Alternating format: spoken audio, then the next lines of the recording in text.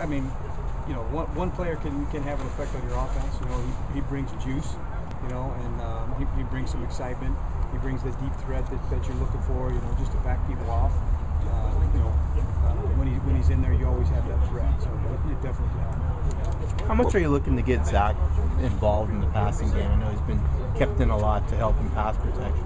Well, we're looking to get a lot of people involved right now. You know, whether it's Zach or Mike or Ben, and you know, there's there's a lot of guys that we'd like to get involved more and, and get them their touches, get the ball to them.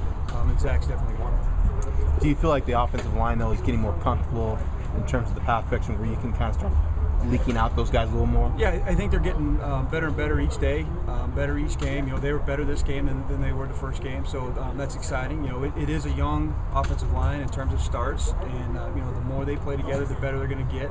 And I've seen that from week one to week two, and uh, you know, they're, there's no doubt that they're improving, and you know, we're excited about that.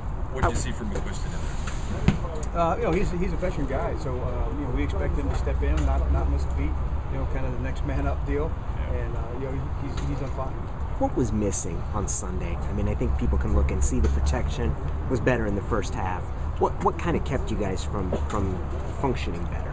Well, I mean, you always got to. I think the biggest thing is you got to convert third downs, you know, and, and be able to stay on the field. We weren't able to do that enough. Uh, we were we were in some some um, good situations in terms of good down at distances, second and sixes, second and threes, and we, we didn't convert those to first downs. So um, you know whether it's the run, whether it's the pass, there's there's little details that we're that we're missing that we're um, trying to focus in on practice and, and get those little things down.